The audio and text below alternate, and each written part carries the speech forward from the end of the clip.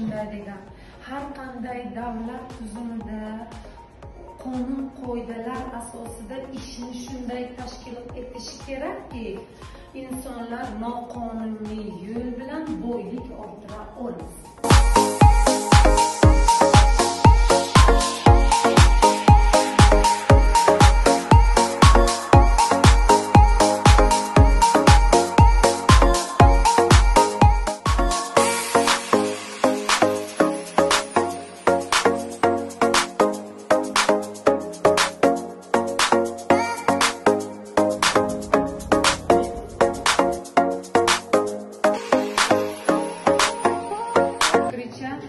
korrupsiya bu shaxsiy naf ko'rish yo'lida davlat hokimiyatini suiiste'mol qilish.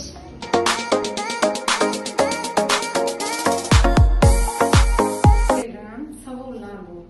Ya'ni korrupsiya masalasida shuni sizlar hozir bitta bitta olasiz va savollarga javob berasiz.